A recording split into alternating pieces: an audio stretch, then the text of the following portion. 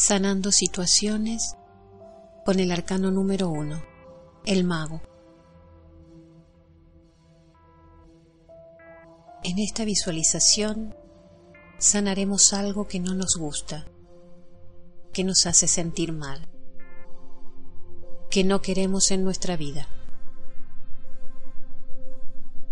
Para ello utilizaremos el arcano número uno del tarot, el mago. En este caso será la figura del tarot rider la que nos acompañará durante la visualización.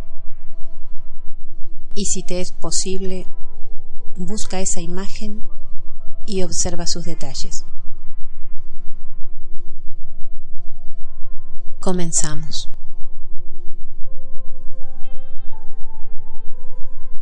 Ponte en una situación cómoda. Cierra los ojos comenzarás a relajar lentamente cada parte de tu cuerpo.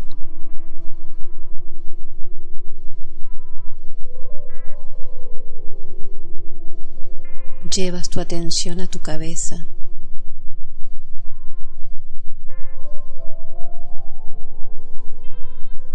Y comienzas a relajar el cuero cabelludo. Lentamente. Relajas la frente, el entrecejo, los párpados. Se relajan los pómulos, los labios, las mandíbulas. Lentamente relajas la nuca, el cuello, la garganta. Relajas los hombros aliviando tensiones. Luego los brazos,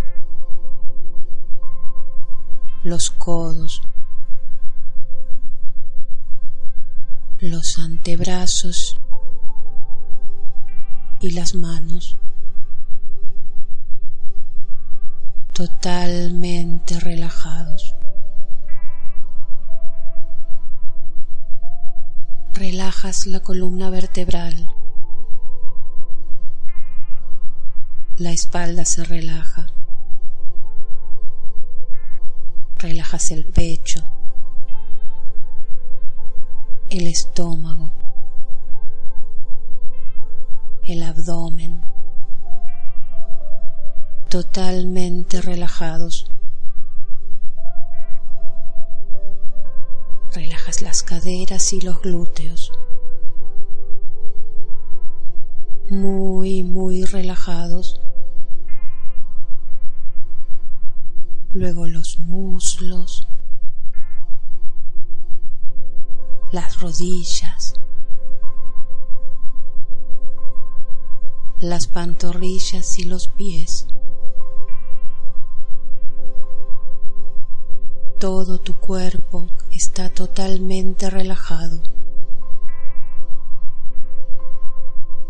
libre de tensiones, tranquilo, en paz.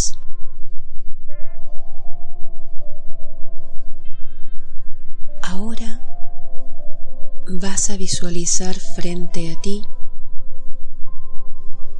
como si estuviera en una gran pantalla. La figura del mago.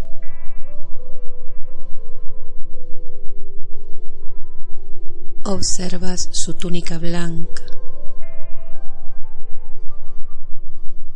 su capa roja sobre ella, el cinturón que lo ciñe, el ouroboros la serpiente que se muerde la cola, que representa la eternidad. Sobre su cabeza el símbolo del infinito. Frente a él, una mesa de la que solo se ven tres patas y sobre ella los cuatro palos de la baraja, los aspectos de nuestra personalidad, los bastos que representan la energía y la acción, las copas, nuestras emociones, las espadas, nuestros pensamientos, los oros, nuestra vida material. A los pies del mago un jardín con rosas y lirios. Sobre su cabeza un rosal. Y en la mano derecha del mago la vara de poder.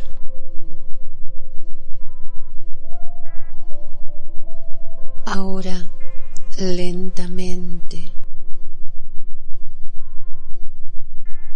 vas hacia esa figura,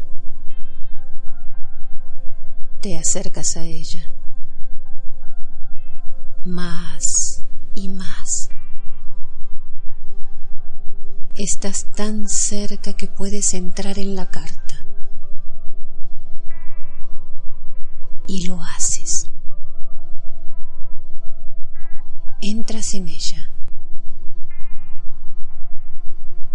y te acercas al mago. Le pides permiso para tomar su lugar. Él te lo cederá.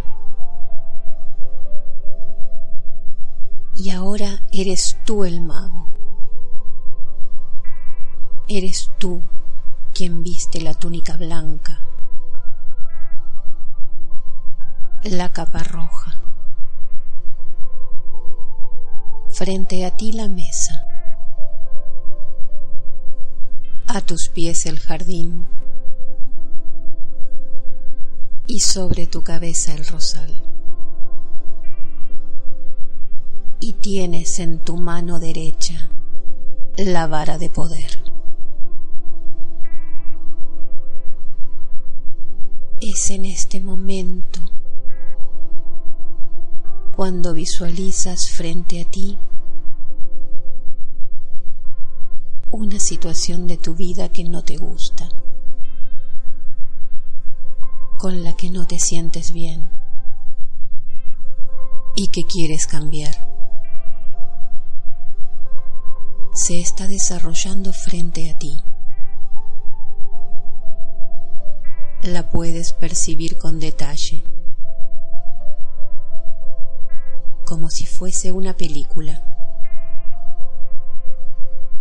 Eso es lo que no quieres en tu vida. Una vez que tengas definida esa situación, levanta tu brazo derecho y apuntas con la vara de poder que tienes en la mano hacia esa situación. Dices, no quiero esto en mi vida. Y verás cómo desde el extremo de la vara sale un rayo de luz brillante, cegador, que destruye esa situación. La destruye totalmente con su inmenso poder. Frente a ti ya no hay nada. Lo que no querías en tu vida ha desaparecido.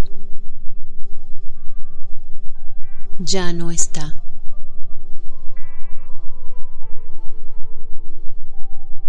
Y ahora, con ese mismo rayo de luz, que es a la vez el destructor y el creador, vas a generar una nueva situación que reemplaza a la anterior y que sí quieres para ti. Del rayo de luz surge esta situación. Toma forma. Se hace cada vez más nítida, más clara,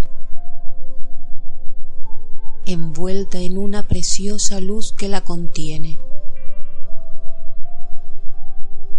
Ya está creada, ya es. Esto es lo que quieres en tu vida. Y lo ves frente a ti. Ahora, la luz de la vara de poder se desvanece lentamente. Pero esa situación que has creado sigue ahí es una realidad. Bajas tu brazo lentamente y te preparas para salir del arcano. Le devuelves al mago su lugar. Le agradeces su ayuda y te retiras de la figura.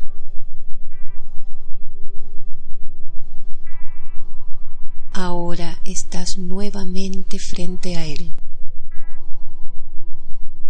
Te inclinas con agradecimiento y lentamente vuelves a tu cuerpo. Tómate el tiempo que necesites y vas regresando lentamente. Tomas conciencia de tus manos, de tus pies. Mueves lentamente la cabeza y cuando sientas que ha llegado el momento, abres tus ojos. Y vuelves al aquí y ahora.